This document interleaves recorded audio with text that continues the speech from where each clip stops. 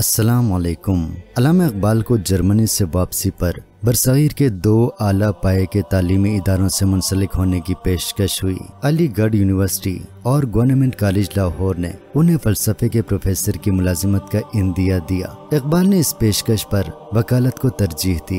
इब्तदाई दो बरसों में उन्हें एहसास हो गया कि वकालत से उनकी माशी ज़िंदगी में इस्तेकाम नहीं आ सकता। ऐसे में उन्होंने रियासत हैदराबाद से वाबस्ता होने का इरादा किया। इसी सिलसिले में वो 1907 में रियासत के वज़ीर खजाना सर अकबर हैदरी के की हैसियत से कई दिन रियासत में मुकीम रहे। लाहौर वापसी पर उन्हें यज्ञ के बाद दीगरे दो खतूत मौसू होते हैं, जिनमें उस मुजवजा ख्याल पर उसकी सख्त सरजनिश की गई थी। खुद इकबाल ने इस दोस्ताना तनबीह को मीठी झड़कियों और मलामतनामा जैसे लफ्जों से याद किया है। खुदा जाने खतूत में की गई सरजनिश का असर था, या कोई और वजह थी। इकबाल अपने इरादे से बाज रहे, मगर यह हकीकत है कि अगर वो हैदराबाद की सरकारी मुलाजिमत में चले जाते तो शायद इकबाल न होते। शायर मशरक के इरादों के रास्ते में मुजाहिम होने वाली यह हस्ती अतिया फैजी थी। उन्हें अंदेशा था कि हैदराबाद जाकर इकबाल अपनी तरजीहत और तोानाइयों को किसी मामूली काम पर सर्फ न कर दें। बीसवीं सदी की पहली दिहाई में किसी मुस्लिम खातून की ऐसी बसीरत और असर पजीरी गैर मामूली बात थी। अतिया का ताल्लुक उस दौर के अला तालीम याफ्ता और रोशन ख्याल खानदान से था। उनकी बड़ी बहन नाजली बेगम रियासत जंजेरा की रानी थी, जबकि रियासत हैदराबाद के वज़ीर खजाना उनके फुफीजाद भाई थे, इल्म फजल की रसिया और बरसाइर की नामवर हस्तियों से बेतकल्लुफाना ताल्लुक रखने वाली बेगम अतिया फैजी, चार जनवरी उन्नीस सौ सतासठ को कसमपुरसी नाकदरी और शिकस्तगी के आलम में दुनिया से रुखसत हो गई। सकाफत और जमालियात की लाडली अतिया बेगम को इन हालात से दो चार करने वाले अनासर और हालात के तस्करे से पहले उनकी खिराकुन ज़िंदगी का बयान हो जाए। अतिया फैजी 1977 में हिंदुस्तान के एक अरब निजात खानदान में आँख खोली। उनके वालिद हसन अफंदी को सल्तनत उस्मानी के दरबार तक रसाई हासिल थी, जिनका कारोबार हिंदुस्तान, इराक और इस्तांबुल तक फैला हुआ था। उस दौर के आला पाए के तालीमी इदारों से तहसील इलम की वजह से उन्हें अंग्रेज़ी, अरबी फारसी, तुर्की और उर्दू जबानों पर दस्तरस हासिल थी। बीसवीं सदी के आगाज़ पर, जब हिंदुस्तान में लड़कियों की तालीम खाल खाल थी, उन्होंने उसूल तालीम के लिए बरतानिया का सफ़र किया। खानदानी असर रसूख और जहानत की बदौलत, अतिया फैजी ने जल्द ही इंग्लिस्तान की हिंदुस्तानी कम्युनिटी में अपनी जगह बना ली। लंदन में उनके शब रोज नामवर हिंदुस्तानी शख्सियत की मैयत में गुजरते थे। टाटा कंपनी के बानी जमशेद जी टाटा, सरोजनी नायडो के अलावा हिंदुस्तानी रियासतों के राजों महाराजों के साथ उनकी सोहबतें रहने लगी। गांधी जी से मुनफरिद अंदाज से ऑटोग्राफ लेने का वाकया। शायर और नसर निगार माहिर कादरी ने अपनी किताब याद रफ्तागान में बयान किया है। वो लिखते हैं कि महात्मा गांधी जब पहली गोल मेज कॉन्फ्रेंस में शिरकत के बाद बहरी जहाज़ से वापस आ रहे थे तो अतिया भी उसी जहाज़ पर सवार थी।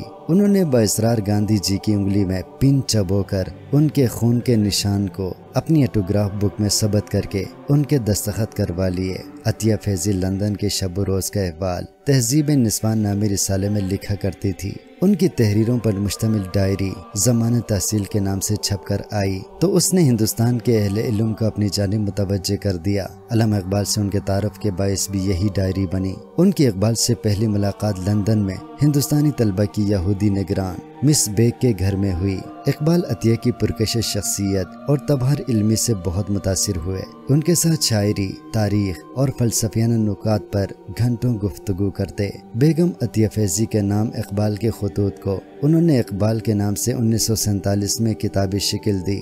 इकबाल की ज़ाती और शख्सी ज़िंदगी की तफहीम और तशरी के लिए इस किताब में बहुत सा सामान मौजूद है। 1907 में उन्होंने इकबाल की दावत पर कैम्ब्रिज का दौरा किया। लंदन में होने वाली इल्मी महाफिल और तफरी पार्टियों में इकबाल की खुश मिजाजी के वाकयात शायर मशरक़ी ज़ाती दिलचस्पियों का खूबसूरत बयाँ है। अपने भाई के हमरा अतिया फैजी का जर्मनी के सफ़र में हाइडलबर्ग यूनिवर्सिटी में इकबाल की तालीमी और तफरी मसरूफियात और मशाइल का पुरलुत्फ ज़िक्र कारी को एक नए इकबाल से अशना करता है। इकबाल पर एक वक्त ऐसा भी गुजरा जब वो शदीद यासो कनूतियत का शिकार थे।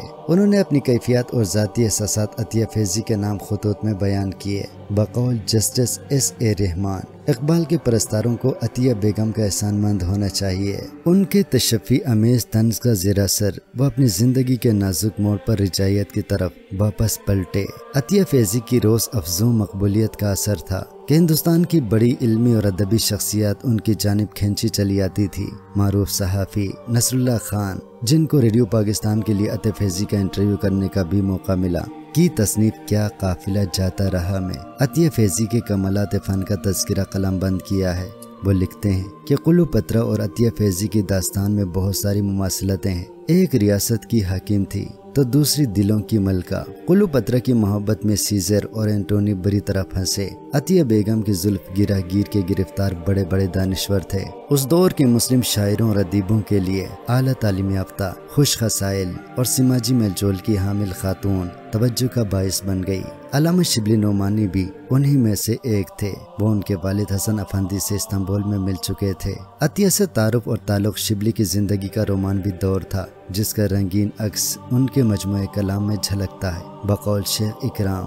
मौलाना को इस काबिल और बाकमाल लड़की ने जिस तरह मशहूर और बेखुद बना दिया था, इसका अंदाज़ा खतूत शिबली के बरक बरक से होता है। शिबली बेगम अतिया की खूबियों का तस्करा करके उन्हें लिखते हैं कि इन बातों के साथ अगर तुम मौसीकी से भी वाकिफ हो तो इजाज़त दो कि लोग तुम्हें पूजें, शिबली के रंगीन तस्करों और वालिहाना अंदाज बयान ने बहुत से अहले कलम को इस हद तक गलत फहमी में मुबतला कर दिया कि शिबली की हयात मुआशिका जैसी किताब मंजर आम पर आई। 1950 में डॉक्टर वहीद कुरैशी की इस तसनीफ ने तहलका मचा दिया। किताब शिबली की बालिहाना दरफ्तगी के चटखारेदार तस्करे से भरी हुई है। इसी के साथ बेगम फैजी की जानब से शिबली नोमानी पर तंज और फिफ्तियों का अक्स भी मिलता है। इस किताब की मुखालिफत और तनकीद से मजबूर होकर डॉक्टर वहीद कुरैशी ने अपनी तसनीफ के मंदरजात से दस्तबरदारी का ऐलान कर दिया। बाद की ज़िंदगी में जब वो एक मजहबी सियासी जमात से वाबस्ता हुए तो इसके वबस्तगान ने लाइब्रेरियों और कुतुब खानों से इस किताब के नुस्खे ढूंढ ढूंढ कर छुपा लिए। कुछ अरसा कबल लाहौर के एक साहिब ने उसकी शातनाओं का अहतमाम किया है। खुद अतिया फेजी ने इस बहस और जेब दस्तान का जवाब यूँ दिया कि हमने मौलाना के खतूत को मासूमाना रोशनी में देखा, क्योंकि उनमें बज़ाहिर कोई ऐसी बात नहीं थी? कि हमसे कोई किसी किस्म की बदगुमानी करता? अलबत्ता उनमें शायराना शोखी ज़रूर थी, जो शायर तबके का खासा है। फ़नून लतीफ़ा से वाबस्तगी अतिया फैजी ज़िंदगी का मरकज़ महवर था। हिंदुस्तानी मौसीकार पर उनकी अंग्रेज़ी में तीन बेमिसाल किताबें, मकामी रागों को समझने और उनकी जमालियाती खसूसियात की तशरी से भरपूर हैं। मौसीकी और मुसविरी से वाबस्तगी। उनकी रहमीन से शादी का बायस बनी। हिंदुस्तानी यहूदी खानदान से ताल्लुक़ रखने वाले रहमीन की जाय पैदाइश पोना थी। बैरून मुल्क से मुसवरी में अला तालीम याफ्ता। इस मुसविर की तस्वीरें दुनिया के मुख्तलि ममालिक की आर्ट म्यूज़ियम का हिस्सा बनती थी। उन्होंने अतिया से शादी के बाद न सिर्फ़ इस्लाम कबूल कर लिया, बल्कि फैजी को अपने नाम का मुस्तकिल हिस्सा बना दिया। शिबली नोमानी ने इस शादी और रहमान के मज़हब की तब्दीली की तरफ़ यूँ इशारा किया, भूतान हिंद काफिर कर लिया करते हैं मुस्लिम को। अतिया की बदौलत आज एक काफिर मुसलमान हो गया। बम्बई में इस फनकार जोड़े का घर एवान रिफत शेर नगमा और इल्मी महफिलों का मरकज था। उनके करीबी कैद अजम मोहम्मद अली जना का माला बार वाला घर वाक़ था। वो उनकी आर्ट और कल्चर से वाबस्तगी से बखूबी वाकिफ थे। क़याम पाकिस्तान के बाद दोनों मियाँ बीबी कैद अजम की ख्वाहिश पर पाकिस्तान मुंतकिल हो गए। उन्होंने जिस जगह रिहाइश अख्तियार की, वो कराची म्यूनसिपल कॉरपोरेशन की मिल्कियत थी। फनकाराना मिजाज का हामिल ये जोड़ा, ज़मीन की मिल्कियत और क्लेम दाखिल करने की रिवायती और कानूनी तकाजों में न पड़ा, जिसकी वजह से उधेड़ उम्र में खानदान के मसाइल का आगाज़ हुआ। बेगम अतिया फैजी यहाँ भी एवान रिफत के नाम से आर्ट गैलरी कायम की, जिसमें फैजी रहमीन के मुसवरी के नमूने और दीगर खानदानी फनकाराना नवादिरात रखे गए। साथ ही अलमसन के नाम से लाइब्रेरी भी इस कम्प्लेक्स का हिस्सा थी। इसी इमारत का दूसरा हिस्सा दोनों ने अपनी रिहाइश के लिए मुख्त कर लिया था। मोहम्मद अली जना से ताल्लुक और अकीदत की वजह से इस इमारत को उनके नाम से मानून कर दिया गया। उन्नीस सौ अट्ठावन का मरशल्ला जहाँ पाकिस्तान की नौजायदा जमहूरियत के खात्मे का बायस बना, वही ये फनकार मियाँ बीबी के लिए मसाइब आलाम भी साथ लाया। कराची म्यूनसिपल कॉरपोरेशन ने 1960 के इब्तदाई बरसों में मियाँ बीबी को इस इमारत से बेदखल कर दिया, जिसकी तामीर और तजीम पर उन्होंने अपने पल्ले से 30 लाख रुपए के करीब रकम खर्च की थी। बकौल अतिया फैजी उन्हें महसूर करके लाइब्रेरी को मिसमार कर दिया गया। दिन के उजाले में नादिर फनपारों को बेरहमी से बाहर फेंक दिया गया। बेगम फैजी ने मजबूर होकर उस दौर के सुप्रीम कोर्ट के जज जस्टिस एस ए रहमान को खत लिखकर मदद तलब की, जिनकी तहरीर बेगम अतिया फैजी का अलमिया, उनको पेश आने वाले अलमनाक वाकयात की तफसील बयान करता है। जस्टिस एस ए रहमान ने कमिश्नर कराची की तवज्जो बेगम अतिया फैजी के हालात की तरफ़ मबजूल करवाई, जिस पर कमिश्नर ने पी डब्ल्यू डी के मनसूबाबंदी के मुशीर मोहसिन अली को सालिस मुकर किया। उन्होंने फैसला किया कि अतिया बेगम को दो लाख बीस हज़ार रूपए मुआवजा दिया जाए और बिल्डिंग के एम सी के हवाले की जाए। इस गैर मुनसिफाना फैसले के खिलाफ 20 मई उन्नीस को जस्टिस एस ए रहमान के नाम अतिया बेगम का खत उनकी बेबसी और सरकारी जाबितों और एहलकारों की बेहसी का टुकड़ा सुनाता है। कराची म्यूनसिपल कॉरपोरेशन उनकी शख्सियत और कारनामों को खातर में लाए बगैर महज कुछ कागजात की बुनियाद पर यह इमारत अपने कंट्रोल में लेना चाहती थी। यहाँ तक कि यह मामला अदालत तक जा पहुँचा। इन दोनों के पास वकील की फ़ीस के पैसे भी न थे। बेघरी और बदहाली से मजबूर होकर उन्होंने आर्ट के नादिर नमूने फिरोख्त करने शुरू कर दिए। माहिर कादरी के बकौल उन्होंने इंतहाई कीमती और दीदाजे फर्नीचर, जो किसी म्यूज़ियम की जीनत बनना चाहिए था, सस्ते दामों गुजर बसर की खातिर बेच डाला। वो अपने एक वाकिफकार के हवाले से लिखते हैं। कि बेगम अतिया इतनी मजबूर हो गई कि उनसे पचास रुपए कर्ज मांगने की नौबत आ गई। कर्ज के लिए हाथ फैलाते वक्त उनकी आँखों से टप टप आँसू गिर रहे थे। उन्होंने जस्टिस एस ए रहमान को कैद अजम तक के नाम पर इंसाफ की दुहाई दी और उन्हें ये पेशकश भी की कि अगर ये इमारत उन्हें वापस मिल जाए तो वो मार्शल्ला हुकाम या जज साहिब के हवाले करने को भी तैयार है। बतौर जज, जस्टिस साहिब ने एक हद तक मामला हल करने की कोशिश की, मगर अपने मनसब की नज़ाकतों और ज़मीन की मिल्कियत के गोरख धंधों जैसे कवायद ने उनके हाथ बाँध रखे थे। कराची की तहजीबी और समाजी ज़िंदगी पर तहकीकी मजामी लिखने वाले अख्तर बलोच ने उर्दू न्यूज़ को बताया कि इस दौर की कराची के कमिश्नर एन एम खान ने मार्शल ला हुकाम के कहने पर बड़ी रवनत और संगदिली से इस जोड़े को इमारत से बेदखल किया। लाइब्रेरी की इमारत अपनी निगरानी में गिराई। नादिर नाया मुसवरी के नमूनों को खुद उठा उठा के फेंकते रहे। अगस्त उन्नीस तक मामला हाई कोर्ट और म्यूनसिपल कॉरपोरेशन के दरमियान लटकते रहे। मियाँ बीबी ने कुछ अरसा होटल इंटरकॉन्टिनेंटल में रिहाइश अख्तियार किए रखी।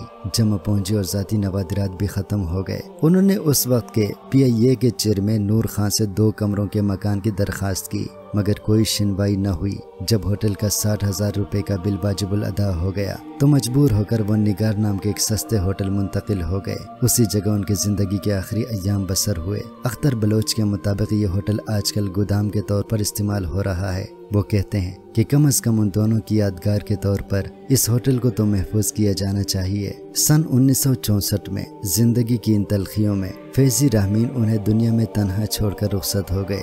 कभी जिस पर विकार खातून के दम से हिंदुस्तान के अशराफिया की महफिलें सजा करती थी वो इल्म दानिश की नकदरी की तस्वीर बनकर रह गई। यहाँ तक कि गुर्बत व अफलास के आलम में दुनिया से रुखसत हुई। बेगमतिया की यादगार और कराची आर्ट्स काउंसिल के पड़ोस में वाकई इमारत की बहाली का आगाज़ नब्बे की दिहाई में शुरू हुआ। एवान रिफत की बहाली के मुजवजा मनसूबे में फैजी रहमीन के नाम पर आर्ट गैलरी और म्यूज़ियम की शानदार इमारत की तामीर और तजीन शामिल है। मगर तीन दिहाइयों से ज़्यादा हो गया। इसकी तकमील न हो सकी। कराची म्यूनसिपल कॉरपोरेशन के कुछ सबक एडमिनिस्ट्रेटर इस इमारत को अपने दफ्तर के तौर पर भी इस्तेमाल करते रहे हैं। के एम सी जराये के मुताबिक माली वसाइल और हुकूमती अदम तवज्जो इस मनसूबे की तकमील में बड़ी रुकावट है। 2013 के बल्दियाती कवानीन की रूह से के सिर्फ़ दो करोड़ रुपए तक के प्रोजेक्ट पर काम कर सकती है, जबकि इस इमारत की तकमील का तखमीना तकरीबन 10 अरब रुपए है। तकरीबन 60 बरस कबल बेगम अतिया फैजी और इनके शोहर के साथ जो सलूक हुआ, वो हमारे समाज में फनून लतीफ़ा और कल्चर की गुंजाइश और पजीराई का इजहार था। उस वक्त भी एक फनकार जोड़ा, सरकारी कवायद और ब्यूरोक्रेसी की रिवायती हकीमत पसंदी की नज़र हो गया था। उनके नाम से मौसम एवान रिफत की बहाली का मौजूदा मनसूबा भी ठीक उसी तरह के रवैयों तरजीहत और हालात का शिकार है।